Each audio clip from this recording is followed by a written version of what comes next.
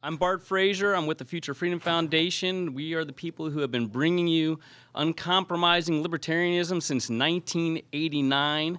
I'm just going to give you a quick intro. We're just a, a nonprofit educational foundation trying to uh, bring you the, the, uh, the meanings of individual liberty and uh, free markets uh, to the wide populace uh, to bring us a free society. Uh, we've been publishing a journal, uh, Future of Freedom, formerly known as Freedom Daily, since our inception. Uh, we have a huge presence on the internet uh, with a website with over 100 videos and 4,000 articles. Um, we were also at the Students for Liberty conference this weekend. Was anybody here there? Good time. It was wonderful. Just a, an a astounding number of libertarians in one place. It was inspirational to be to. And uh, it was also enabled us to uh, bring one of our heroes here. Bob Higgs was one of our speakers uh, at the uh, conference this weekend. Uh, he was a warrior because his flight got canceled out of Louisiana on Friday, and he jumped on a plane on Saturday for us. He was supposed to speak at noon. We switched him to five. Another one of our speakers got canceled. We switched them to five. Bob basically jumped off the airplane into the podium and uh, was fantastic for us, as you might imagine. Um, so we are very fortunate to have him this evening. Uh, also for the semester, we have March 3rd, uh, David Boaz will be here. And then via Skype on April 28th, uh, we're going to have Walter Block. Uh, if you're unfamiliar with the Econ Society, please join it if you're a student here. It's a fantastic organization. And uh, here is the president of the organization, uh, David, uh, who will tell you about it and also introduce Bob.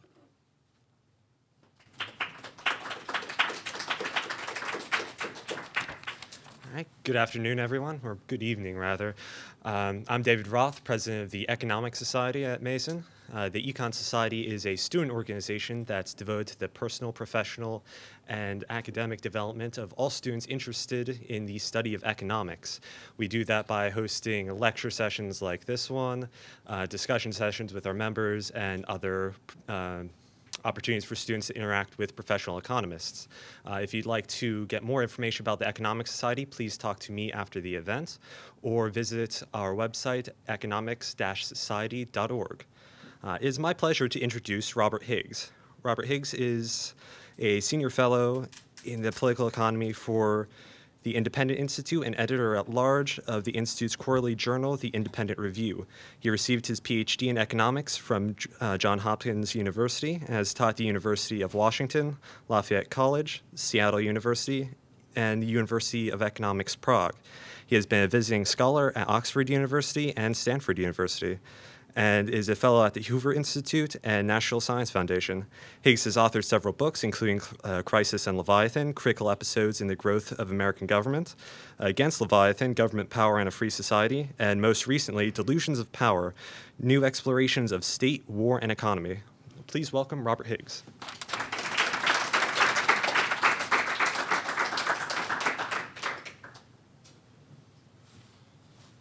Thank you, David.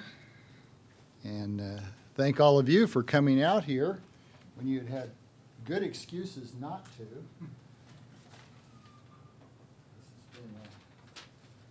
Extraordinary winter, as I don't have to tell anybody, I'm sure. And uh, I've never seen so much snow lying around on the ground here in Fairfax before.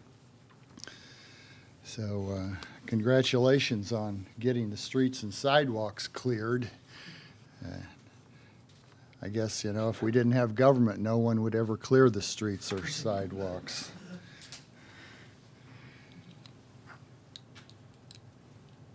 The, uh, the topic for my presentation tonight is the logic of crisis and Leviathan and why it still holds.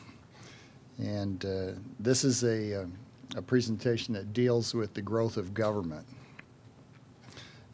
I started uh, doing research and writing on this subject more than 30 years ago. At that time, it was little more than a cottage industry for economists and a, a few other social scientists, but it, uh, it, it, got to be a big deal uh, by the uh, end of the 1980s, and, and so I was uh, not exactly in there at the beginning, but I was almost in there at the beginning. Uh, I, I ended up uh, working about five years, mainly on a project about the growth of government in the United States be, between the late 19th century and what was then the present day, which was the 1980s. And uh, that book was published in 1987, and it's called Crisis and Leviathan. And uh, it's been reissued recently, a couple of years ago, in uh, so-called 25th anniversary edition. And uh, the reason for doing that is not that I've rewritten it, I haven't, uh, except there's a new preface here. But what I have done is, is to keep it in print. Oxford University Press got tired of it after 20 some years, and uh, some friends of mine thought it would be a good idea to keep it in print. But uh, this is a book where I develop most aspects of my thinking on the growth of government. But I didn't stop doing my work uh, at that time. I continued to work on uh, what you might think of as sequels to uh, Crisis and Leviathan in various ways, and uh, and most of the books I've published since then are of that character. Uh, not all of them, but most of them. And uh, I want to mention two in particular. Uh, three, actually. One I won't discuss much tonight. Uh, it's called Depression, War, and Cold War. And that's a, a sequel uh, that is focused on that particular area there, having to do with foreign and military affairs and, and how they've been conducted and how they've uh, contributed to the growth and power of the state uh, since the Great Depression. But uh, the two I want to mention uh, first is one called uh, Neither Liberty Nor Safety, published in 2007, and the, uh, the subtitle of this book tells you more about its content. the subtitle is Fear, ideology and the growth of government. And it's a collection uh, of papers written shortly before the 2007 publication date of this book. So uh, this is more recent thinking uh, in various regards. It's uh, my attempt to push forward a little bit what I uh, had learned when the first book was published and, uh, and, and to move a little bit into related areas. The second book I'll mention is called Delusions of Power, subtitled New Explorations of the State, War, and Economy. And once again, that's recently written papers between about 2007 and 2012. Once again, pushing out areas related to the growth of government for the most part. Not entirely, there are some other things uh, dealt with as well, but uh, what I want you to do is uh, take note of these three books. I want you to go out and order at least a dozen, and uh, we'll be we'll all be happy. You can you can give uh, you can give all your cranky relatives a copy next Christmas or on their birthday, and uh, really get on their good side. but Let's see what I, I, have to say about the what I call the logic of crisis and Leviathan, and and then finally arrive at some consideration of uh, why I think that logic is still as strong as ever. Why we can expect the way that this relationship played out during the 20th century to be the way it'll play out in the future, at least as far as I can see uh, it, unless some very important changes take place in the future. And I'll try to stipulate what kinds of changes those would have to be. Uh, when I started studying the growth of government, many of the people who were involved in, in that uh, endeavor were thinking of the growth of government as a kind of long run trend phenomenon. Uh, you don't have to do a lot of study to go back in history and see that, uh, say, in the late 19th century, the early 20th century, uh, the government, regardless of how you measure it, was much smaller in the United States and in every other uh, advanced uh, economy in the world, uh, particularly the countries of Western Europe, and uh, their offshoots such as uh, Canada and the United States, Australia, New Zealand.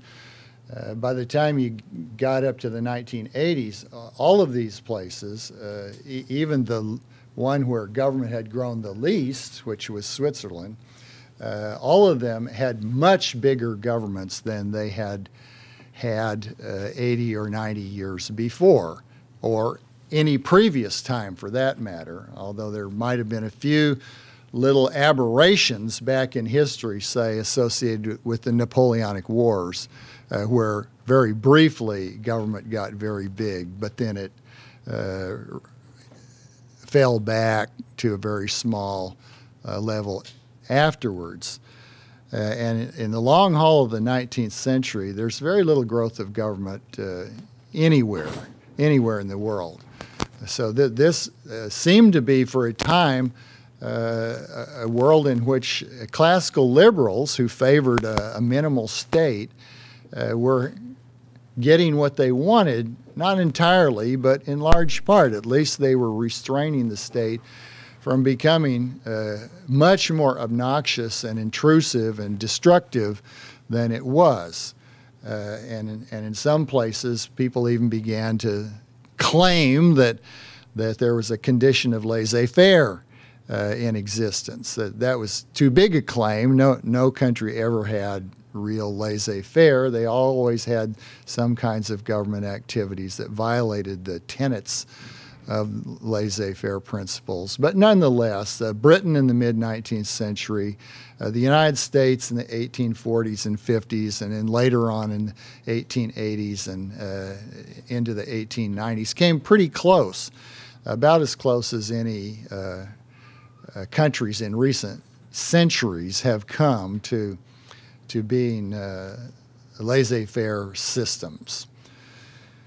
Now, if you look back at how government got bigger over, say, the course of the 20th century, or most of it, uh, as I said, most economists were not worrying about the precise pattern that the growth uh, followed, the path of the growth of government. They were just concerned with the fact that it had become much bigger than it was previously.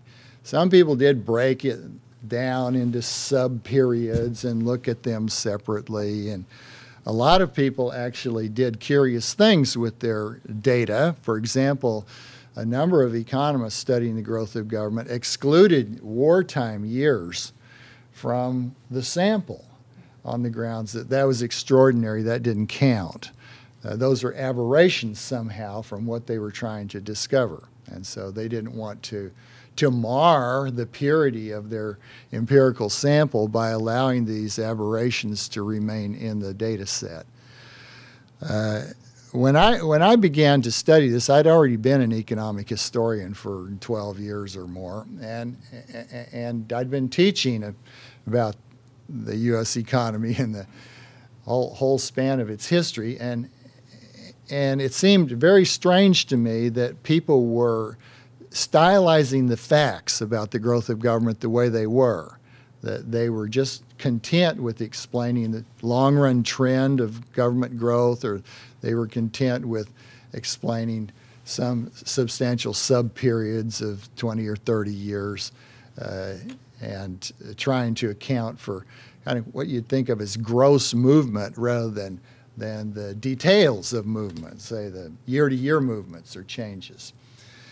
And I also, as I thought about it, became convinced very quickly that, that it was a big mistake to throw out any data, but particularly to throw out wartime periods. Because I'd learned that very often events that occurred during these wartime periods had consequences for what was done later in peacetime. So it seemed that one was throwing away very valuable and informative information by uh, editing the data in that way. So I set out uh, in a way to explain not just the fact that government had gotten much bigger over the long haul, but to explain the precise path by which it had become much bigger over that century or so I identified earlier. So I, I ultimately uh, uh, analyzed a number of propose explanations. And uh, these are all still in play today. None of them has gone away. And uh, in the first chapter of my book, Crisis and Leviathan, I, I walk through them, giving uh, two or three pages to each of them to explain uh, basically what they uh, affirm and what I see as some of the problems with them. Uh, I did that because at the time these were, in a sense, the prevailing explanations that economists were offering. Uh, and I added one or two of my own uh, that I'd stumbled upon elsewhere, but, but economists were basically taking uh, modern welfare economics, the, the kind of analysis developed in the 1930s and 40s to talk about market imperfections. And the nature of their explanation for the growth of government uh, was a, a, kind of corollary. They derived from what they had been teaching about market imperfections.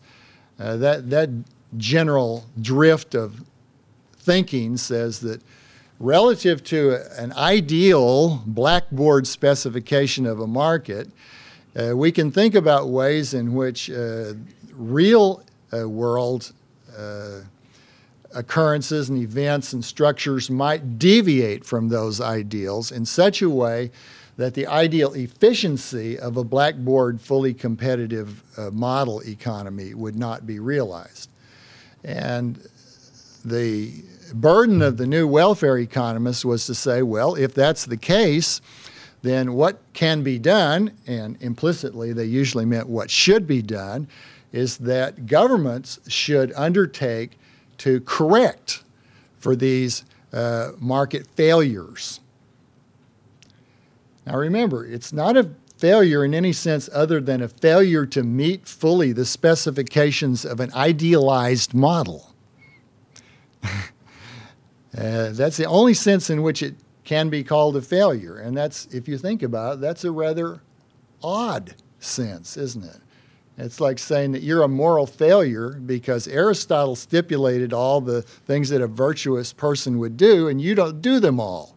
So you're a moral flopperoo, as my old friend Murray Rothbard would have said. Uh, but that's kind of preposterous if you think about it, because we're all sinners. You know, we don't have any fully moral people here in the crowd. I don't even know you, and I say that.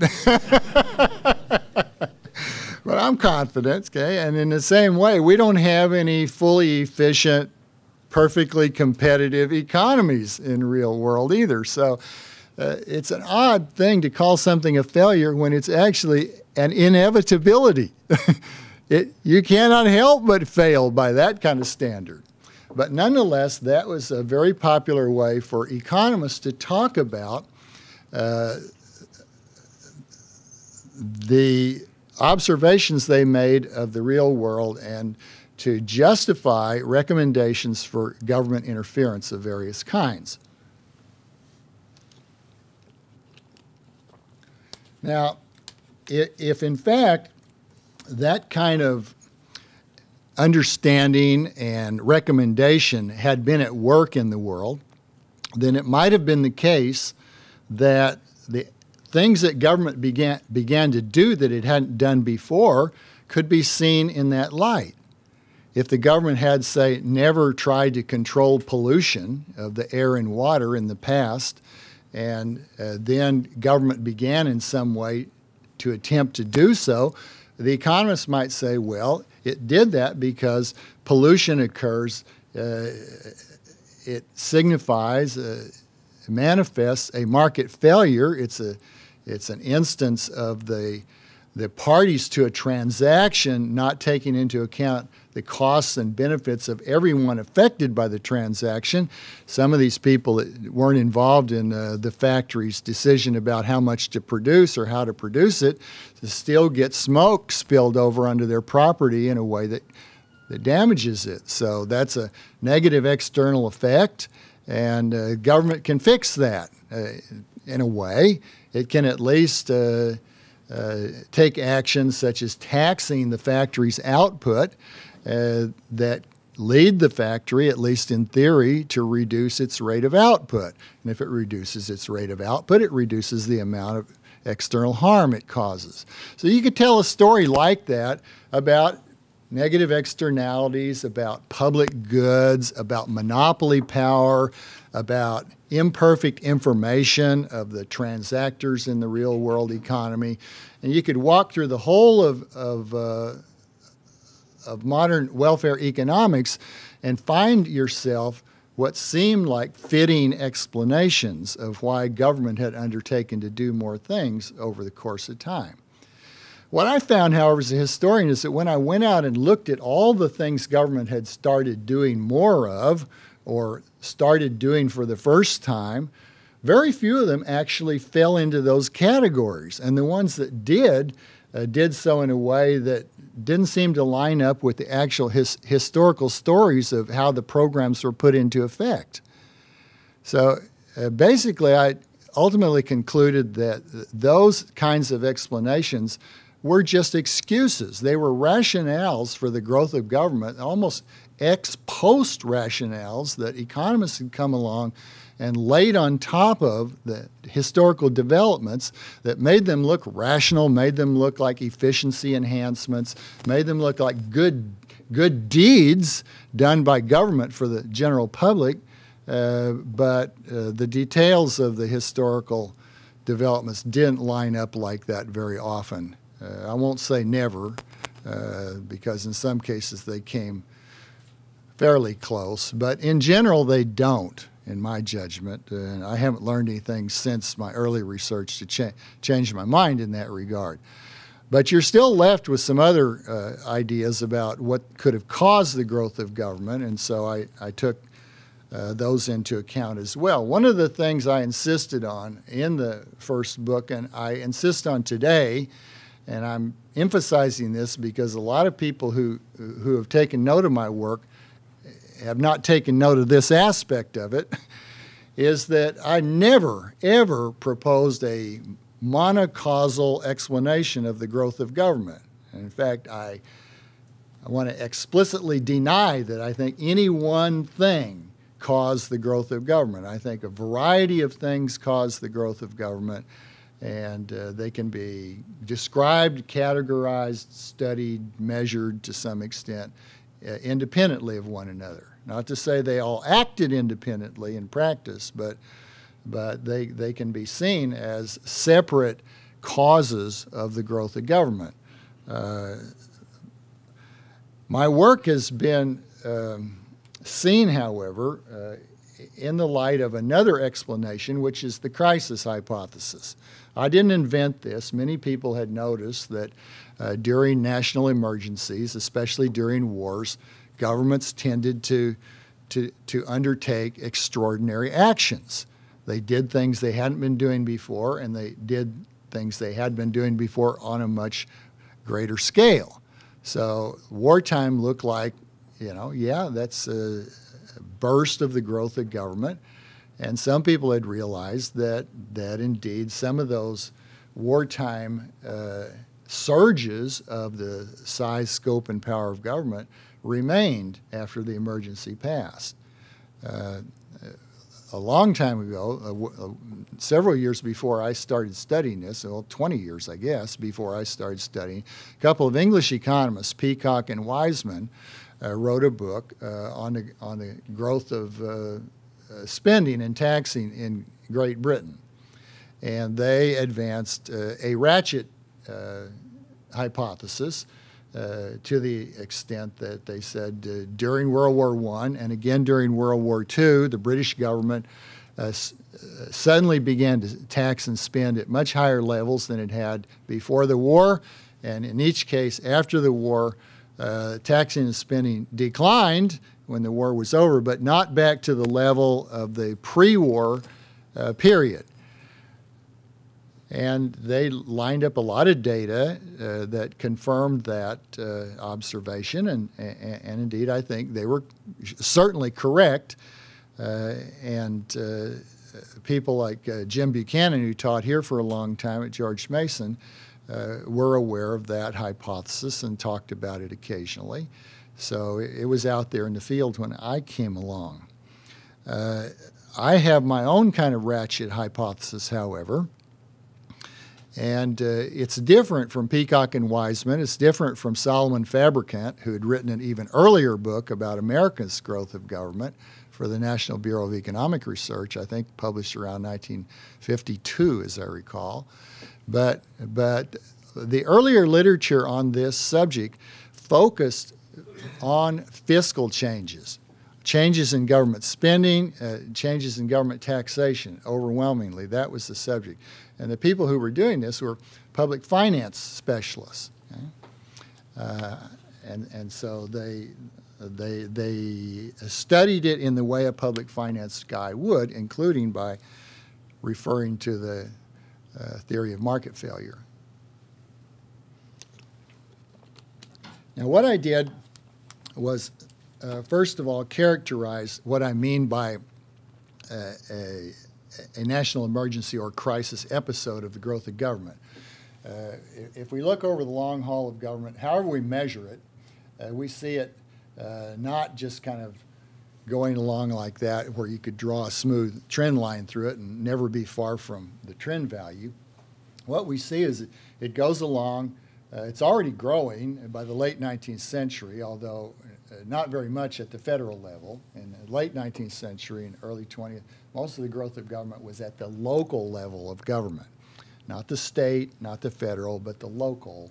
And a lot of it involved building infrastructure. Urbanization was going on all over this country. Uh, new cities are being formed. Old cities are getting bigger and bigger and bigger. And and uh, the city governments were building streets, lighting, uh, sanitation systems, water supply systems. These were big capital investments, uh, and so they required these city governments to spend extraordinary amounts of money compared to anything that had happened in the past. Uh, but uh, government was growing some uh, before World War I. Then World War I came along and it shot up hugely uh, at the federal level. Uh, after the war, it came back, and then again during the early 1930s, it shot up again uh, during the Hoover administration, and then again during the early years of the Roosevelt administration as well. Uh, and then it, it, it, came to World War II very quickly, shot up even more than ever, in fact, more than ever in our history. Uh, and then there was a retrenchment after World War II, and then it continued upward again. So, so the long haul has it's not a smooth trend line, but it, uh, sort of smooth trend line with, with spikes on it every once in a while. They seem like short-term spikes, and it's because they were they were fairly short-term that that these economists I mentioned earlier had thought they're just aberrations. Let's throw them out. Uh, they're they're messing up our analysis of the trend movement, which is economists always somehow think the trend movement is the true deal going on here, you know. Uh, so we don't have to worry about uh, outliers. But in fact, outliers are often the most informative thing you can study when you're doing empirical analysis. You can find out why those outliers do what they do. Then you've probably got a really good handle on understanding the variable you're analyzing. So I, I developed a stylized kind of picture. Uh, I don't have a, uh, a marker here, but I don't need one. I'll use my arm. That's the trend. and uh, what, what I proposed was a kind of idealization of my own. I proposed that what's being measured here on the vertical scale is the true size of government. And I called it that because uh, I want to take into account not just things like spending or taxing, debt, uh, but a variety of other ways in which government can control resource allocation and, uh, and other aspects of social behavior. So we've got here measuring the logarithm of the true size of government. Okay? So the slope of this line is going to give us the rate of growth of government. We come to a crisis like one of the world wars or the Great Depression, and what happens is that the, uh, the government surges, its true size jumps up very quickly uh, in a year or two years uh, to a much greater level. Uh, then during the course of the crisis, it stays at that high level. When the crisis ends, the government retrenches, but it started back here, it went up, it retrenched, but it came back only this far. And then it starts sort of growing at its old trend rate again. But look, its new trend line is not here, it's up here. So every time you go through one of these uh, crisis episodes, you shift the trend line of growth upward to a higher level. You take, take a jump and you, and you displace the trajectory. And uh, that's just a kind of formal way to sketch the process. And what I've tried to do is fill in the substance of why it looks like that. What happens to make it follow that pattern? And it followed it not only during those three episodes I mentioned, but it later had similar experience during the Johnson Nixon years. Uh, there's no kind of accepted name for that. Uh, I just think of it as the time when all hell broke loose, because uh, I was uh, myself uh, a grown man when that happened, so I lived through it. And believe me, all hell was breaking loose in a lot of different ways. Uh, but you know, the excitement really started around 1964, and then it stayed at a high level up until about the time Nixon was run out of office. And uh, so it's about a decade there. Uh, and then, of course, we have a relatively placid period after that until 2001 when we have another one of these surges. Now, of course, I hadn't written about it in my book because my book was first book was published in 87 but I will just give you one little clue and, and this actually was uh, the page of my book that probably attracted the most criticism from reviewers.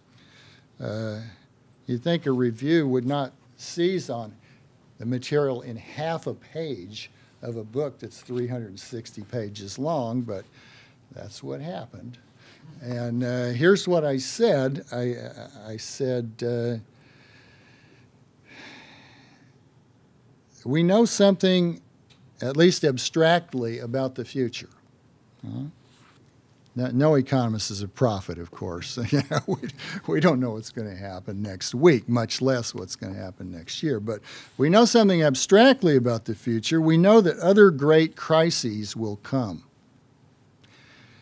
Uh, whether they will be occasioned by foreign wars, economic collapse, or rampant terrorism, no one can predict with assurance. Yet, in one form or another, Great crises will surely come again, as they have from time to time throughout all human history.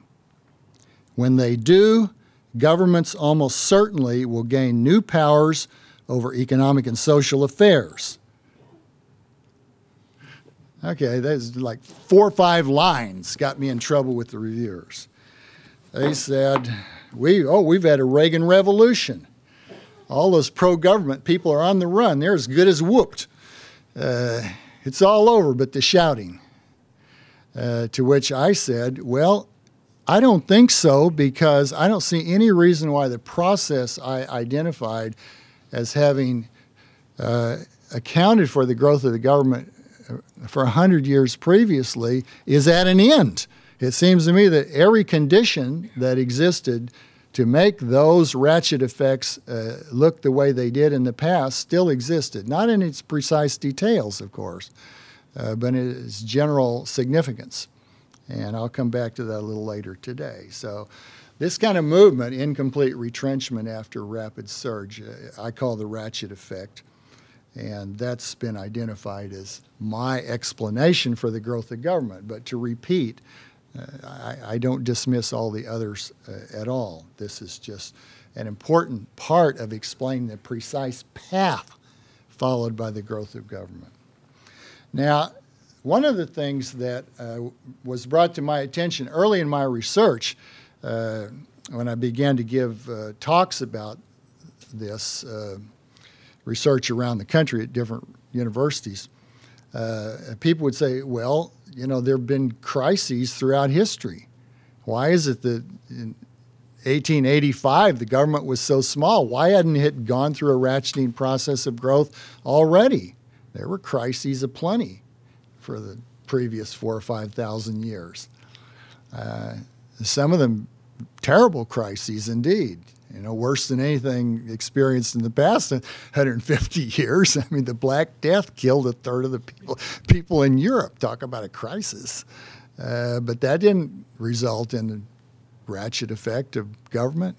And you could identify any number of episodes in history that, that didn't play out this way. Uh, and I thought about that, and it caused me to push my analysis back some because it, uh, it, it seemed to me from my study that that the reason the ratchet effect had worked the way it did in the 20th century had to do with a very important, indeed critical change in the preconditions for the working of the ratchet. Uh, that is to say, uh, if you look at why the ratchet works the way it does, it doesn't work that way under all social and economic conditions, only under certain kinds. And the, the main thing that's important is an ideological precondition.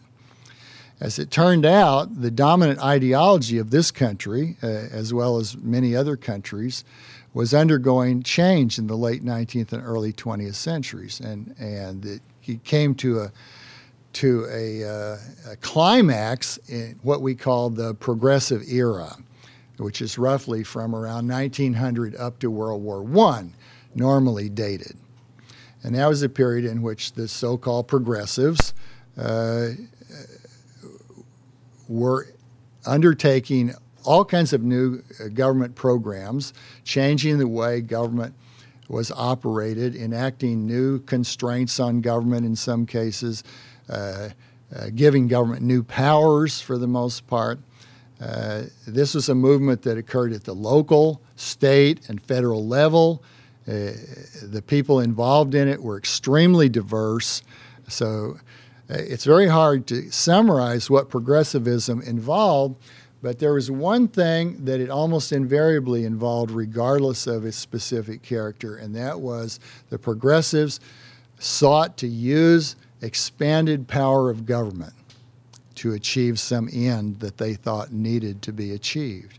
So that was the kind of common denominator of the ideological change that took place in this country. Now, now, previously, it wasn't that nobody ever wanted to use government in that way. Certainly, there have always been some people that wanted to use government to feather their own nests or to, you know, help their friends and hurt their enemies. That's that's as old as as government as we know it. But nonetheless, uh, government was restrained by the dominant ideology, uh, the dominant ideology, the one that most people sort of use to view the world and to, to, to come to conclusions about uh, what was right and wrong about it and what should be done about it uh, and uh, who was the friend and who was the enemy of mankind. All those things are questions answered by one's ideology. And in the late 18th and um, practically the whole of the 19th century, the dominant ideology in the United States was one not of laissez faire, but of something verging on it. That is to say, most people thought that government ought to have a very limited role. They weren't anarchists. Their anarchists were practically unknown in this country or any other, as far as I'm aware. But uh, but a great many people did believe that government shouldn't get involved uh, in a whole host of things that ultimately government did get involved in. Right? They would say it's not the proper business of government to do X, to do Y. Uh, now, in fact, they became more like that after the 1840s, because before that, there had been a lot of government involvement in economic activity at the state level and the local level for that matter. Uh, holdovers from the old kind of regulations that, that the English had brought down from the Middle Ages. You know, when they mercantilists were telling people how many threads they could have in a, in a yard of woolen cloth and nonsense like that.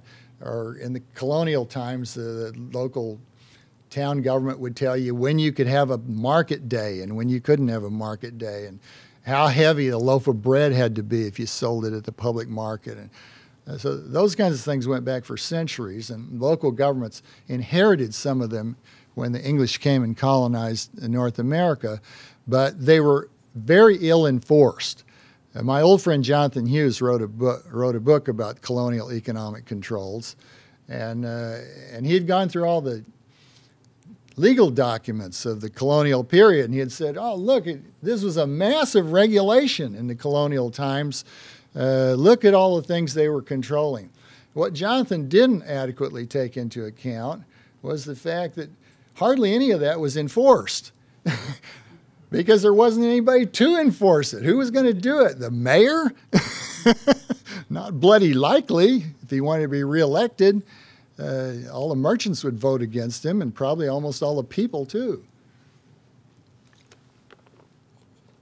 And nearly everybody lived out in the country or in a very small village uh, well into the 19th century.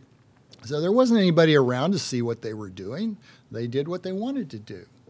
Uh, you know, it's not that they committed murder freely. People would get up in arms about that. But, you know, if they wanted to sell a half, half size loaf of bread, nobody was going to bother them for doing it, no matter what the legislation said in the state capitol or uh, in the, the records of the city government. Okay? So you had those kinds of things that were petering out in the 19th century. And then you had these states involved in a lot of improvements like canals a little bit of road building. Most of the roads are actually privately built, you know. Take note, all you critics of anarchists. Most of the roads were privately built. so that answers the question who will build the roads? Uh, businessmen will build the roads, as they did then. They built hundreds of turnpikes in uh, the northeastern part of the country mainly. Uh, but anyhow, uh, state governments got involved a lot in canal building, somewhat in road building, some other public projects for transportation improvement like that. Later on, they invested in railroads. They invested in some places in banks.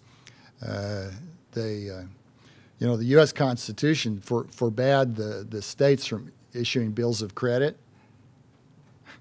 So the states just chartered banks that they owned and issued paper money. That's how they made a loan to people. They, they, they established, you know, like the State Bank of Indiana. And then you went and borrowed, and what you got were pieces of paper that said, you know, $5 payable by the State Bank of Indiana. So they were issuing bills of credit. They just changed the form rather than the substance. Now, that kind of stuff, thank goodness, uh, was pretty much all smashed in the late 1930s, 1830s, and early 1840s. There was a pretty severe uh, depression at that time, and one outcome of it was that all these state improvements, these canal companies and, and banks in particular, uh, went belly up. And when they did so, they left the taxpayers on the hook for a lot of bills, like for paying interest on all the securities these, these operations had issued. And so here, here, the people, they're already in bad shape because there's been a depression and they're getting saddled with all these bad debts that public officials had run up, corruptly, I might add. I, I, I think you'd have trouble finding one of these operations that wasn't somehow corrupt. But uh, at all events, people were up in arms about that, so much so that they demanded revision of their state constitutions, and most of the state constitutions in the country were amended in the early 1940s uh, with provisions that forbade the state from going into business for public improvements like canals and railroads and banks. Okay?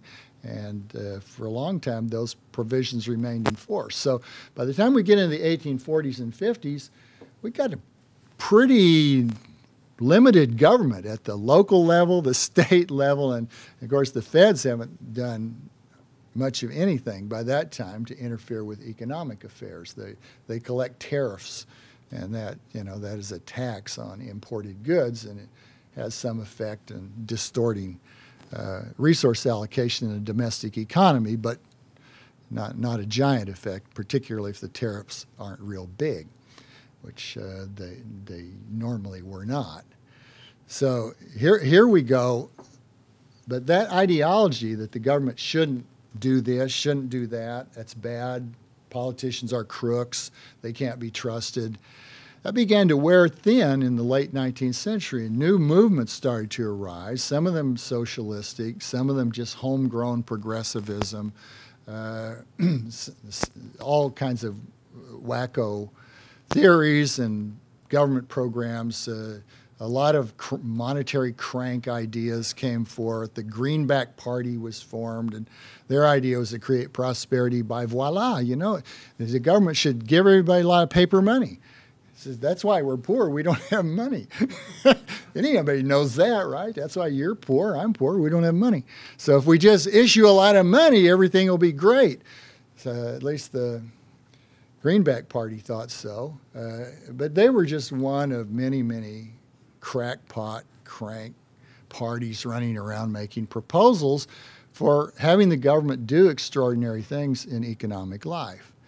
And gradually, this, this built up. The intellectuals began to turn tail.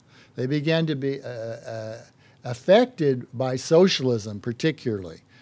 Uh, you know, the, the intellectual class in the United States historically had been very tiny and it almost amounted to clergymen and a handful of oddballs like Thomas Jefferson, you know, John Adams, who were deep thinkers. And, uh, uh, but in the late 19th century, the number of college professors and lawyers and judges and people who sort of verge on being intellectuals be, became much larger. And they were reading around, and of course, Americans, American intellectuals tended to, to be very diffident relative to their British counterparts and, and their German counterparts, you know, these learned men of Europe. Uh, the Germans had been giving PhD degrees for ages in their universities. And so when the Americans decided they needed more intellectuals and they started changing the nature of their higher education institutions to, to, to bring that end uh, to attainment, they, they, they started going to Europe to educate themselves. And a lot of Americans went to Germany in particular to study for their PhD degrees. You know, they could get one of those colorful robes from Heidelberg, and they could come back and prance around at graduation ceremonies like they were high priests of knowledge. And uh, some of these people were highly influential in shaping the nature of American academic and intellectual life generally.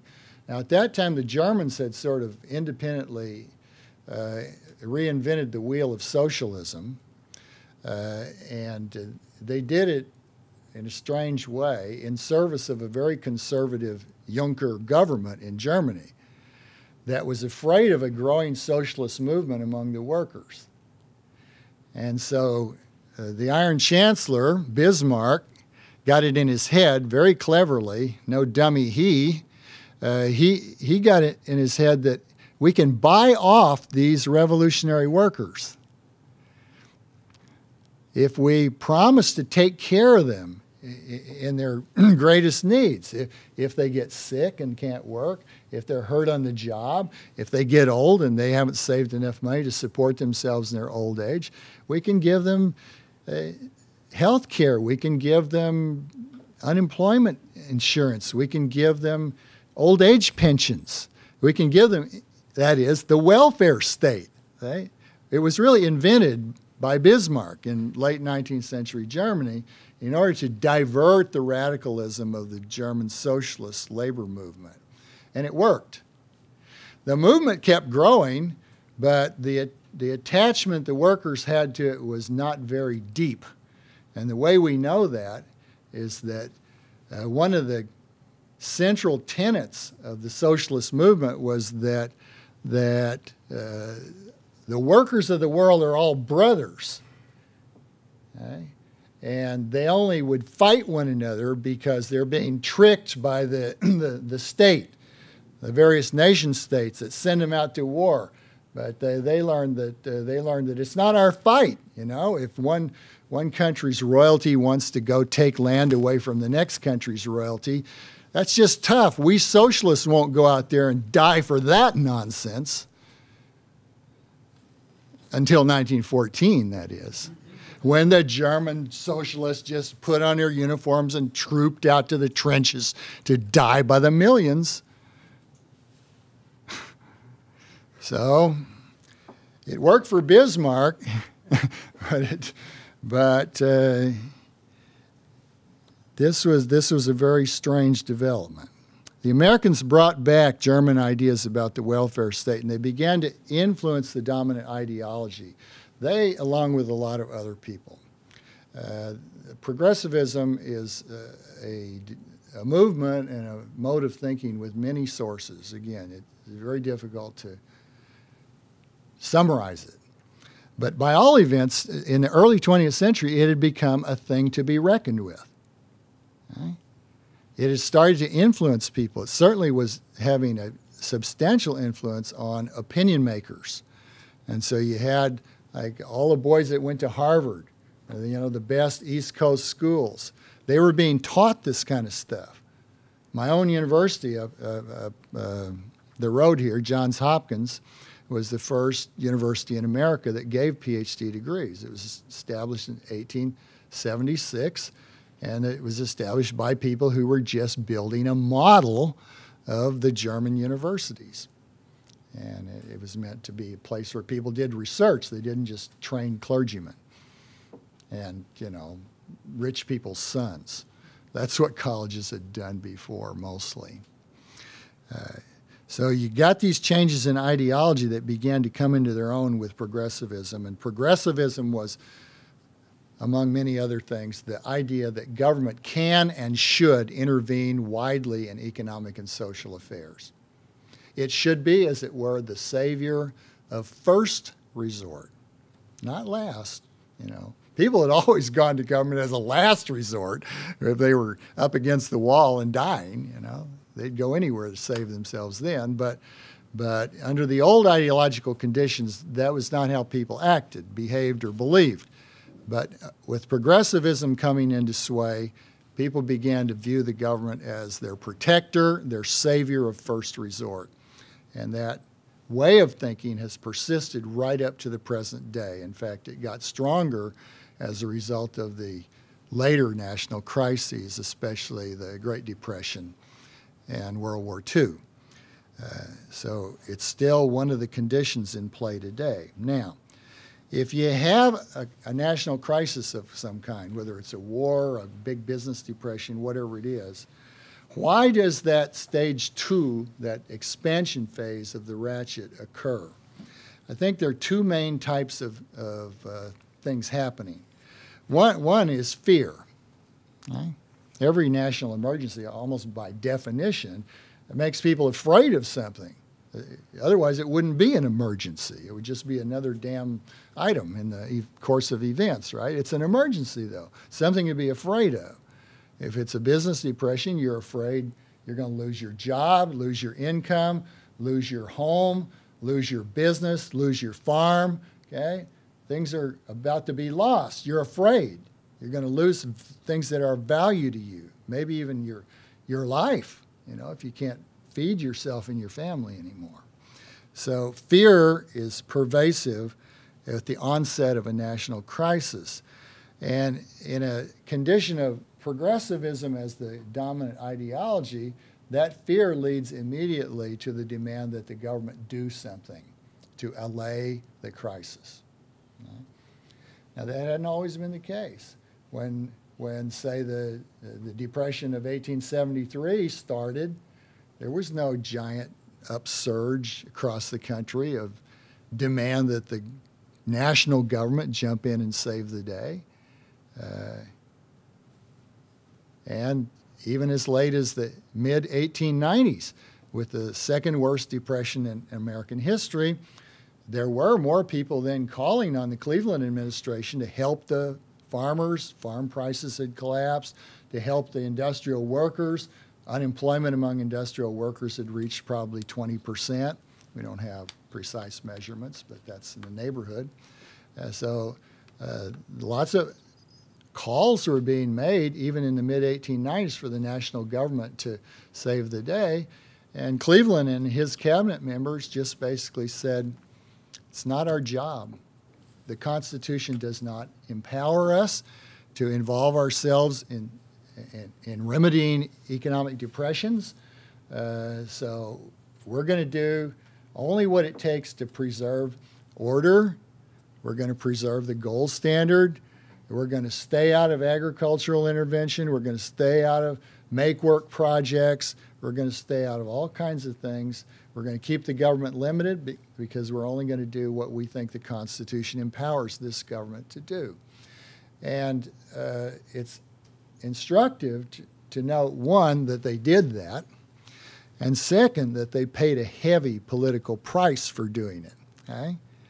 By doing what had been done by Jeffersonian Democrats for a century, conditions had changed enough to expose the Cleveland administration to a great negative feedback from the public.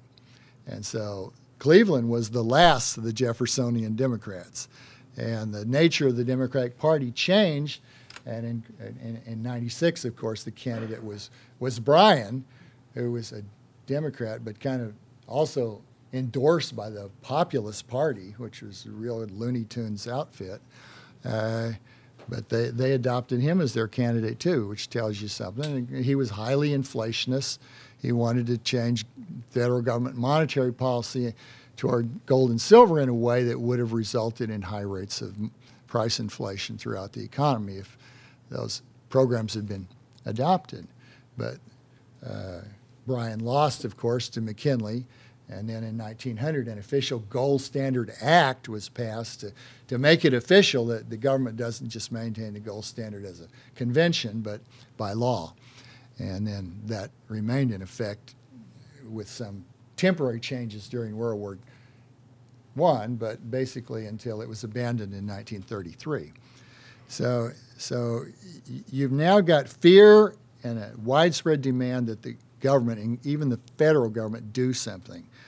Uh, and on top of that, you've got a, a flood of opportunists. You've got opportunists both inside the government and outside it. And uh, these people are demanding that the government do something because, you know, if you're a government bureaucrat or a politician, that may be a way to promote your power and uh, uh, feather your nest and keep you in office a long time, win you friends with people capable of giving bribes to you. Uh, a lot of good could come to you by jumping into the mess with some new government bailout program. And of course, the private sector opportunists just trying to turn a bad situation into a good one for them. Maybe they, maybe they get their failing firm bailed out.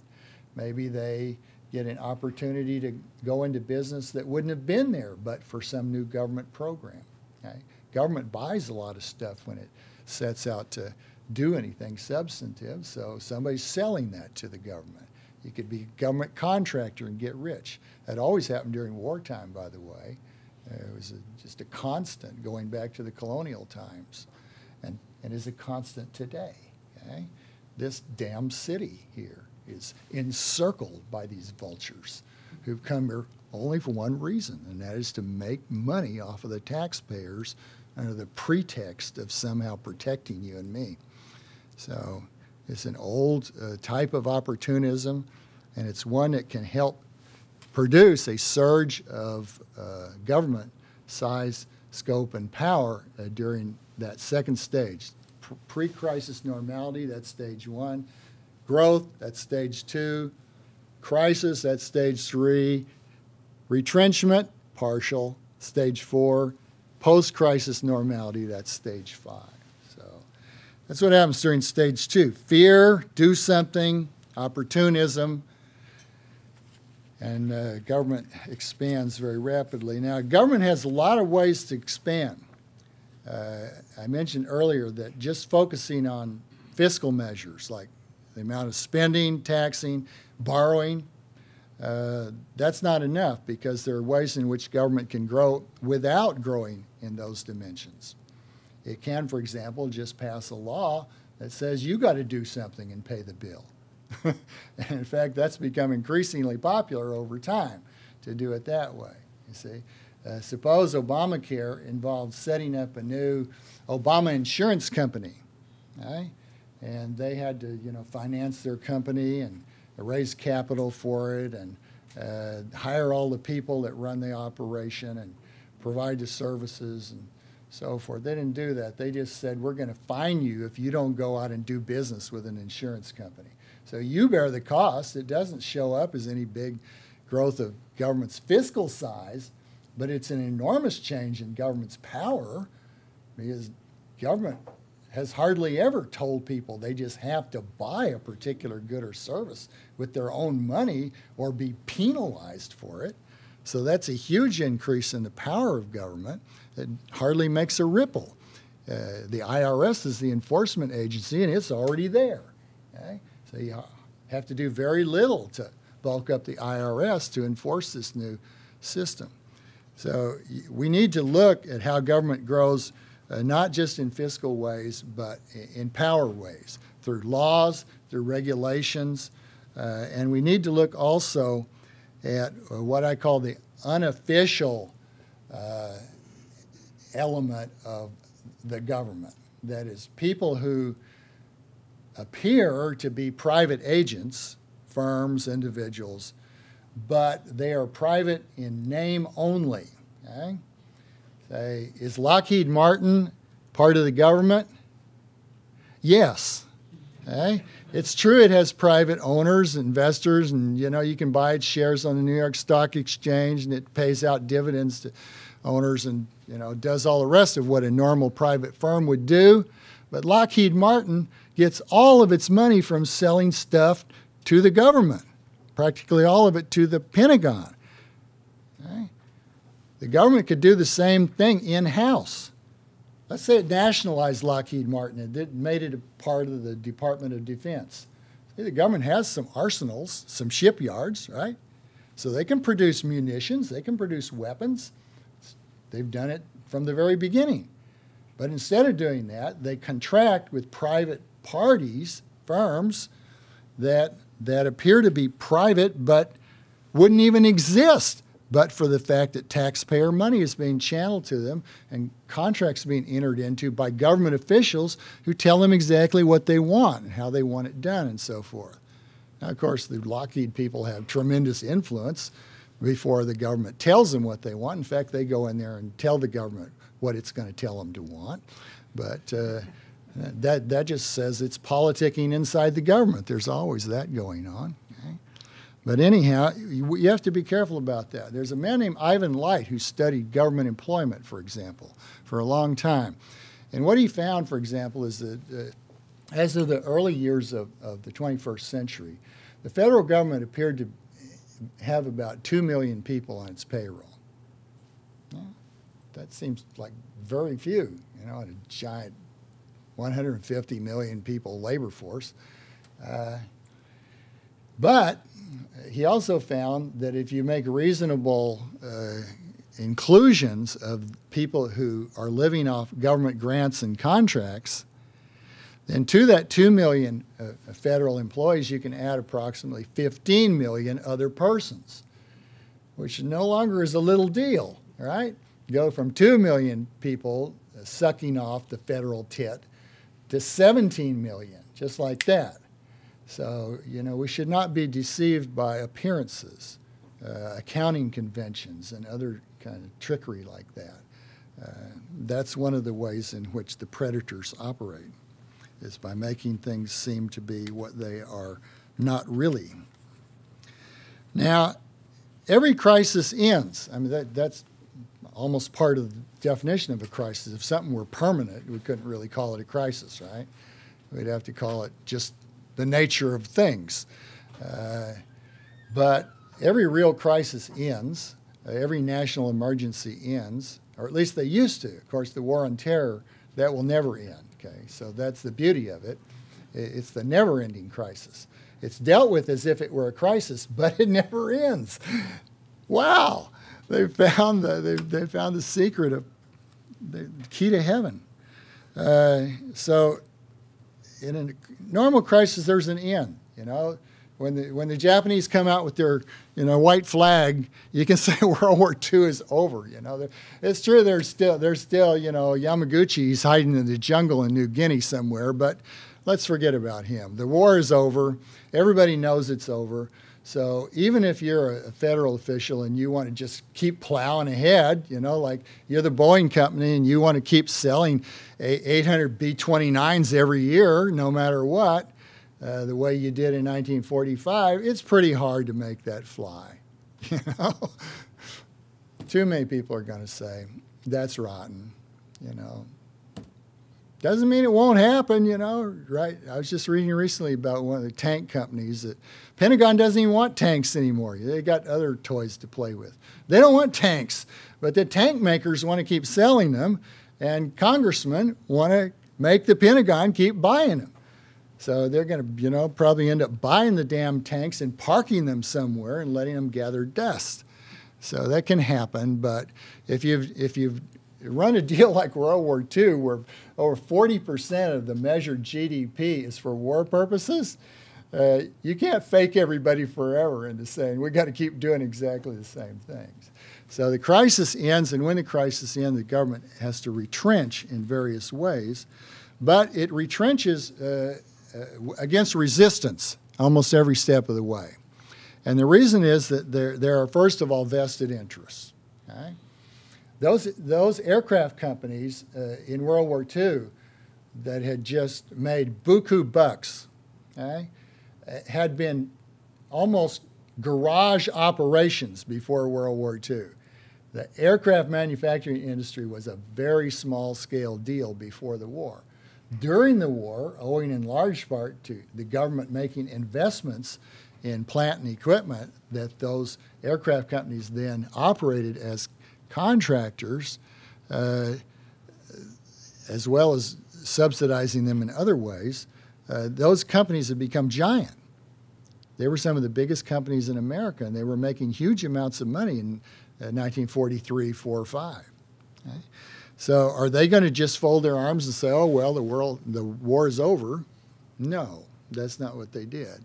They jumped in there and started being kind of uh, geostrategists explaining to all their pals in the Pentagon that, you know, the Russians are a terrible menace and we got to be ready.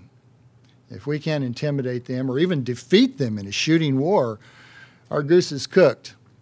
So they became uh, incessant lobbyists and very good ones, very well organized, well financed ones. They've been doing this ever since World War II ended. And it's still working pretty well for a lot of them to this day. So you've got vested interests that are built up during a crisis. They don't want to retrench. Okay? And that's inside the government too, not just outside among the contractors and grant recipients. And when people try to resist a retrenchment, uh, they have an important advantage over the rest of us. That is, they control a lot of the information that's relevant to making a decision about whether the government should back down or not. Uh, who are you going to ask about the importance of maintaining a, a readiness industrial capacity among aircraft makers? Well, who knows about that better than the aircraft makers and the people in the Air Force? So they'll be the people that go and testify before congressional committees that decide on what to do about ordering aircraft. Uh, and in fact, the insiders are almost always the ones that testify at, at, at congressional uh, hearings involving any kind of spending. It's always the people are going to be the recipients of the money. There have been some formal studies of this. Uh, uh, uh, Jim Payne, friend of mine out in Idaho, has done some great work to show that that the, the people who testify in these hearings, you know, they're like way over 90% in favor of spending more money. Always. And they're the only kind. It's very hard to really be heard if you take the opposing view. So, control of information is important because then, of course, the press gets its information from things like congressional hearings and, and they spread this to the general public.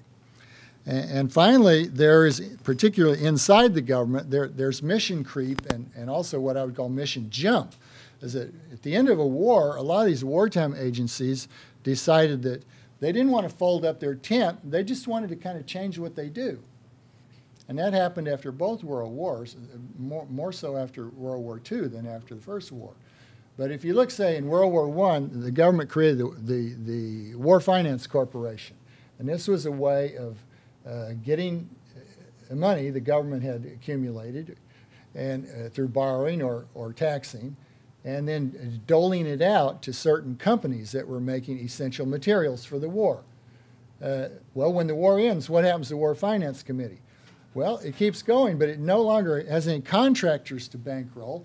Now it, it, it bankrolls exporters because the Europeans who, who want to buy these exports have no money. You know, Europe is blown to hell, and millions of Europeans are dead, and lots of others are sick and dying. Uh, so that's a bad market. Uh, but still, the exporters want to sell. So what basically happens is the War Finance Committee pays for those exports by lending to the people who, who appear on the, uh, the bill of sale to be the buyers. And uh, uh, then they, few years later, the War Finance Committee started lending money to agricultural co-ops and rural banks to prop up uh, the prosperity of farmers. That had nothing to do with financing World War I, of course. It was just politic. And so this happens again and again, uh, that some agency created during an emergency to do one thing resists uh, elimination or retrenchment by moving its mission over into some new area. So you got this mission jump and mission creep going on as well. And finally, you've got something I think is uh, tremendously important as a result of this whole episode, and that is that uh, people learn from doing, learn from experience. And, and that applies also, they learn from being beaten. Okay? If I come and whip you every day, after a while you'll get used to it. you may not like it, but pretty soon it won't seem so extraordinary as it did the first time. Oh, time for my whooping. You know? It's that time of day. Well, you see, if you'd been trying to tell people in 1939 uh, how much they could charge for ordinary goods and services, or, you know, what kinds of contracts they could and couldn't make, they would have thought that was overbearing beyond toleration. But if you've done that for three, four years during World War II, they've even adjusted how they do business to the fact that government agents tell them precisely that kind of stuff. And people come around and actually will, will punish them legally if they find they're charging more than the ceiling price for their goods, or if they're if they're selling to people they weren't authorized to sell to by the by the priority people issuing in the War Production Board or whatever it is. People were ordered around during the command economy of World War II so heavily for so long that they, as it were, their will to be free men and women was, if not broken, it was certainly beaten down. And on top of that, they were told, and it seemed like a plausible story, that all the nonsense that had been done during the war, that they didn't particularly like when it was done to them, was part of winning the war. And by God, look, we won the war, right? They've given up. We, we beat them all. And we beat them all. Why? Because we war managers really ran a clever war economy. But for us, who knows what disaster would have befallen us? Post hoc, ergo propter hoc. We did all this crap, we won the war. Therefore, this crap is good. Okay? That was the logic of the thing. That was, in fact, the ideological lesson that, if only at an unconscious level, a great many people carried away from both world wars. And in some cases, the war managers undertook to spread that kind of propaganda. After World War I, Bernard Baruch, who was a very wealthy investor and, and, and a leading angel for Democratic politicians at that time, uh, hired a bunch of people to write books and then gave them to every public library in America, books showing that Bernard Baruch, the economic czar as he was known, uh, had managed World War I economic control so astutely that the United States won the war. You know, notwithstanding that the U.S. contribution to winning the war was really quite minor compared to what the French and the British and others had had done, but especially in terms of lives lost, it was almost rounding error compared to, to the French and British loss of life, and uh, certainly the Russian. You know, they lost more than everybody else put together. So here we come along and we say, we won the war. We did it because the government knows how to do big things. Just, you know, you just got to stand by and allow government to use its powers to the full. And furthermore, obviously, if it can do something as big as, as winning world wars, obviously it can do things like provide decent housing for people, provide good jobs for the unemployed and the underemployed. It can, it can provide all kinds of services for people who are suffering or at risk of suffering in a multitude of ways. Certainly, if we can win a world war, we, the government can run a decent welfare state. That was the lesson. That was an ideological legacy of these world wars. And so uh, we're, we're dealing with that legacy even now. Okay, now let's take up the question I warned you we'd come to. Uh, is this going to just keep going on forever? If it, if it is, then government is just going to get bigger and bigger and bigger in one way or another. Maybe it'll be disguised, maybe it'll be made to look like it's private when it's not really.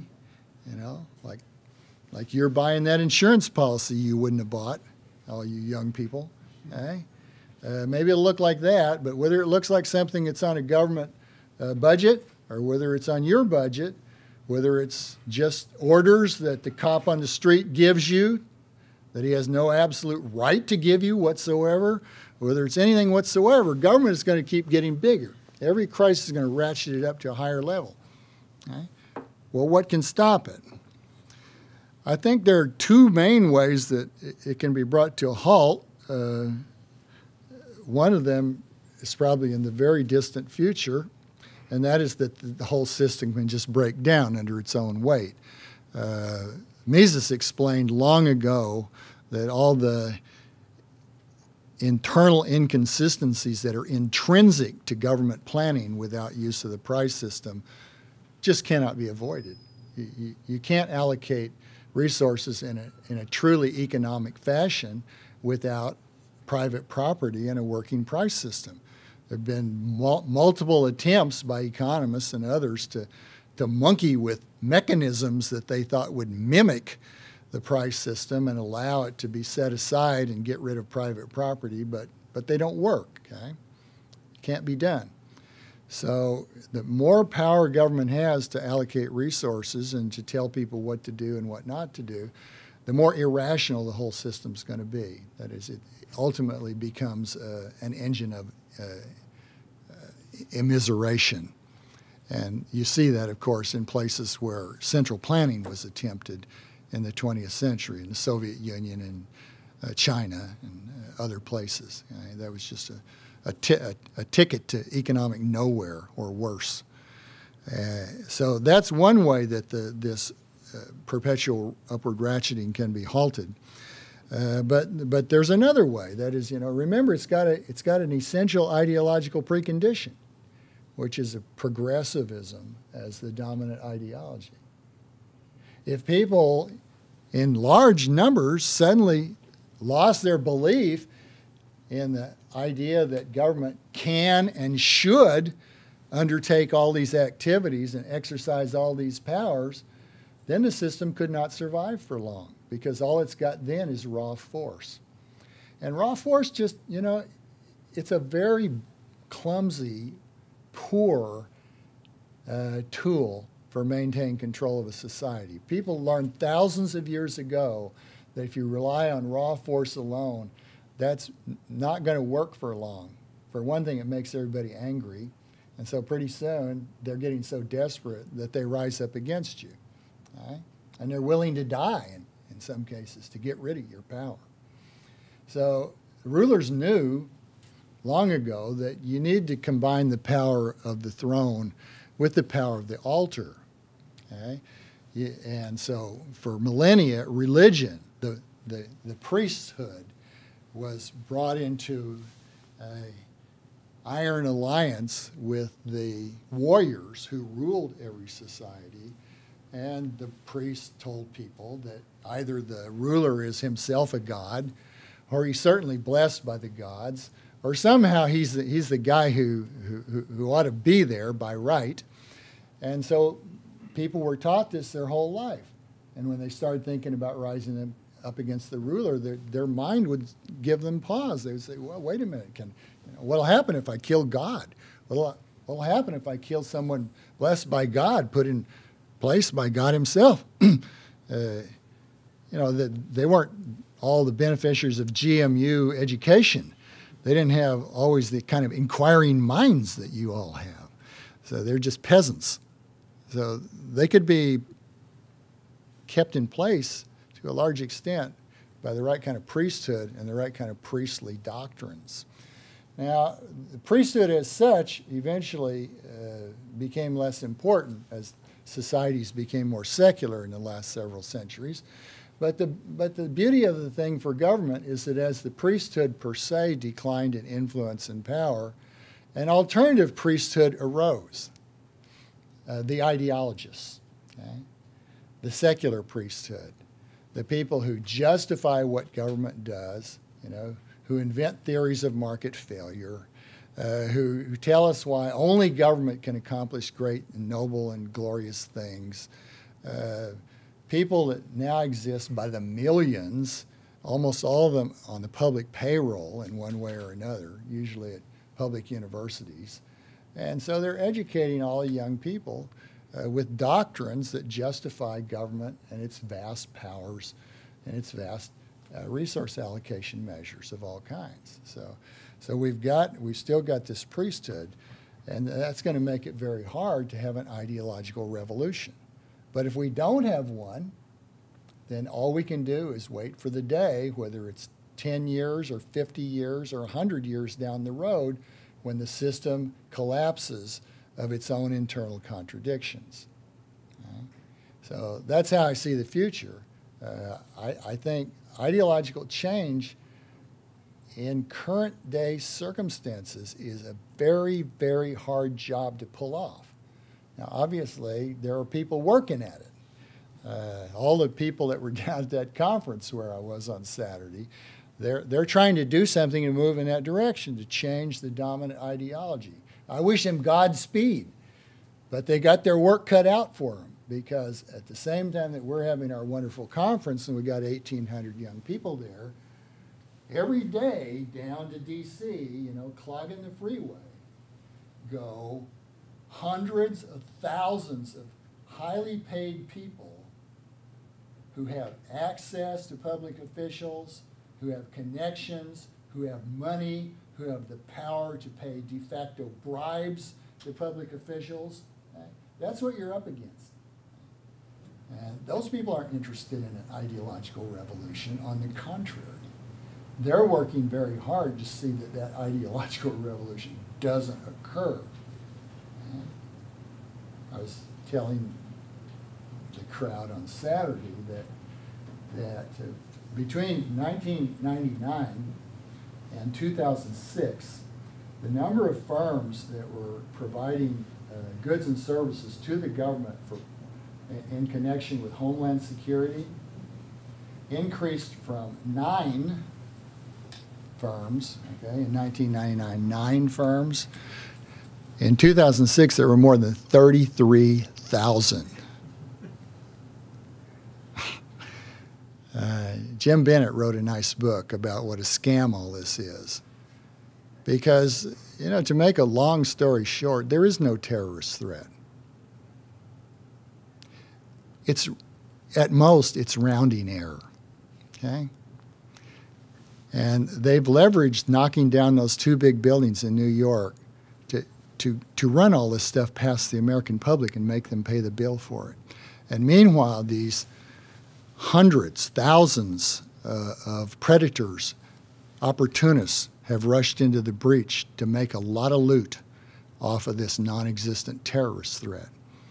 And they're spreading the word, you know, look under your bed, could be a terrorist there right now. Uh, see something, say something. Uh, you know, keep your line open to the FBI. Don't have to worry about telling NSA; they already know. Okay? So uh, they're keeping us all on edge to the extent they can, because it's very important that they do so if they're going to keep raking in the loot. That comes from us. All comes from us, the ordinary chickens here. Well, I think that gives you a general idea of the notion of the logic of crisis and, and Leviathan, and there's a lot more to learn. So, as I say, you know, please do buy a dozen of each of these books. If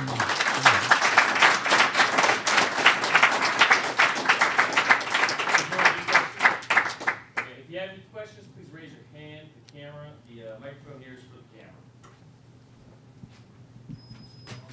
Yes. Any questions?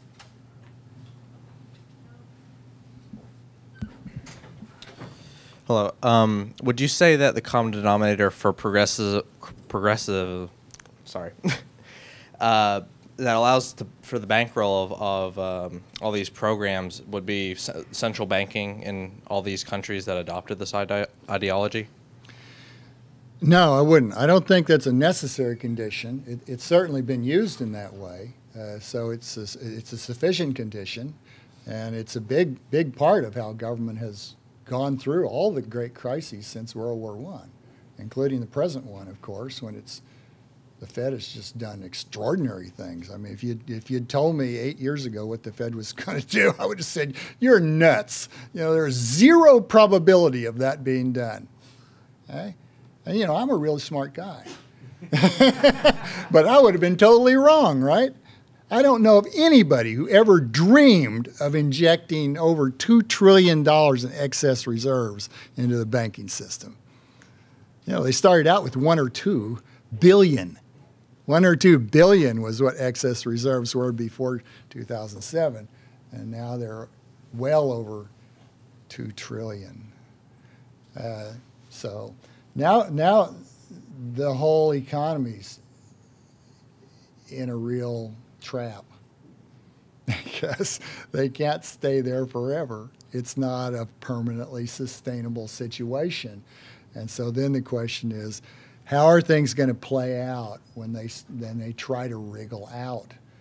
You know, everybody's all the Fed watchers have been guessing for years. When are they going to back back down? When are they going to stop the quantitative easing? When are they going to stop buying all the securities that Fannie and Freddie issue and issued in the past? And you know, like the, the government has now taken over the home financing of America. Over 90% of the mortgage money comes straight from government-controlled institutions. So a whole industry was gobbled up there, and hardly anybody even described it in that way. They just thought it was a bailout for Fannie and Freddie. A bailout, yeah, bailout, cum takeover was what it was.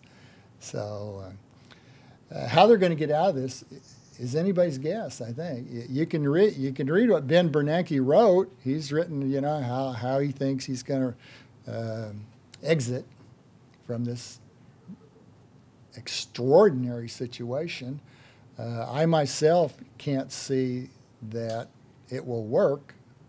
I, I, pray to God it will actually, because all the things I think will happen instead of it's working are very bad. And uh, I'd rather it worked.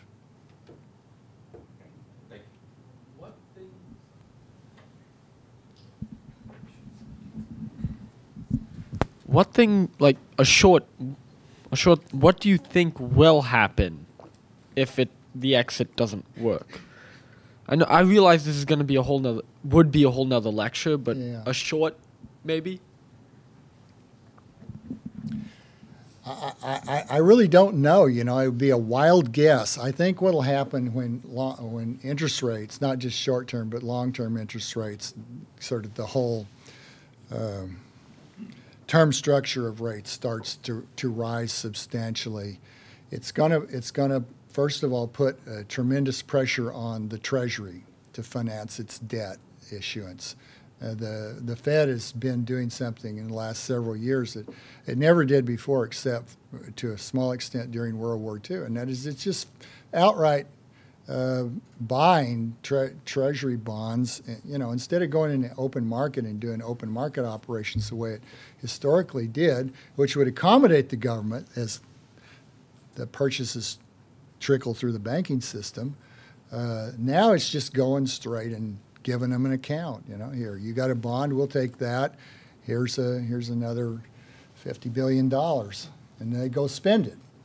Okay? So that kind of stuff, that's like Zimbabwe economics, and that doesn't work forever. Uh, so what's going to happen if they stop it, or even if they cut back on it? I think is that the government's going to have very serious uh, difficulties financing its debt. It's going to have to pay much higher interest rates. See, one of the reasons the government has been able to hold up running up such huge amounts of additional public debt in the last uh, 12 years or so is that the interest rates are so low. You know, the, the service cost of, of all that new debt is not huge, you know. Even at the interest rates of 2006, it would have been several times greater than it is. So they, you know, they put they push the term structure down to the short end, and they've got the Fed to buy all the junk, and and now they're just praying that the foreign holders of the outstanding debt don't all at once uh, decide to, to stampede and sell this stuff. I, I, I, don't think they will, by the way, because that'd be self defeating. Uh, the Chinese and the Japanese uh, hold the big chunks, and uh, they're just going to hurt themselves if they start selling it off very rapidly because they're going to incur big capital losses. But who knows? If they're nervous enough, if they're nervous enough about what's going to happen to the dollar down the road, they could try to unload that while the unloading is good. I just have no idea. I do know that you know the Chinese are actively communicating with the Treasury all the time, telling them, "You guys got to get your ship in order here. You know, you got to reduce these deficits. You can't keep running up this debt. We're not going to buy more of it." The Chinese haven't added to their holdings for several years, and so where's it going to go? Well, where it's gone is to the Fed, is where it's gone. But you know, you can't run Zimbabwe here. This is not Zimbabwe. Uh, we can't live like that here. We'll all starve to death. You know, some of the Zimbabweans did too, of course, but but people won't tolerate the, that that kind of horrible play out here, and they would just insist on some kind of government takeovers, nationalizations, you know, you name it, whatever it takes to, to rebuild a command economy that can put bread on the table and uh, at least keep people from starving. So I don't know. There's never there's never been a situation like this before. That's the reason I, I don't even pretend I know how it's going to play out. It's it's just completely new. It's without precedent. Uh, I just myself can't convince myself of any of the pleasant scenarios working. Uh, okay, there's a hand up here. When you were doing your research over the past century, um, which did you find was more elastic, and was there a change in the elasticity between um, the shrinking of the government sector and then the contracts, which or the contractors, which um, were not technically in the government but worked mm-hmm. for the government? And was there a change in the elasticity um, of those when they would shrink back down after the crises um, as it's gotten closer and closer to the present? Uh, I think the retrenchment was in both world wars. It was greater uh, uh, among the outside contractors than it was for the government itself if you don't count the armed forces. If you count the armed forces, then you know there's uh, after World War One, there's almost total demobilization, and after World War II, the armed forces shrink from from uh, 12 million people in uniform to, to one and a half million in a two-year to three-year period. So, but if you look at the civilian employees, there's much less shrinkage. They did just cancel a lot of contracts in both World War One and World War II. As soon as the armistice occurred in 1918, they started canceling war contracts. In fact, a lot of those cancellations were in the courts for years and years and years, uh, being thrashed out. And after World War II, they they they started canceling contracts too. Those were settled more expeditiously. Uh, uh World War II was you know, granted that it's a command economy and it's just pervaded by screw ups of all kinds. Nonetheless, it was handled better than World War One, uh, and they did some things pretty astutely at the end, because a lot of people wanted to keep the government, for example, actively involved in maintaining comprehensive price controls. And thank God, uh, the people who opposed that prevailed, and so they very quickly. Uh, uh, dropped almost all the price controls, all the direct materials allocations and things that had been used during the war. They, they reimposed the price controls for a while in 1946, but when, when they did that, the farmers wouldn't bring any beef to market, and so everybody went crazy. There's no beef in the meat markets, and, uh, and the Truman administration reversed itself. And by the end of 1946, uh, virtually every price control was was gone. That was a that was a huge measure of of return to a normal economy, because a price controlled economy is is is really a doomed thing. You know, pretending to displace the price system across the board is a recipe not just for disaster but for quick disaster, and they could do it during the war for a short time, only because more people would accept it given the rationale that it was for war. But they could never do it that like that in peacetime. And thank goodness they didn't try.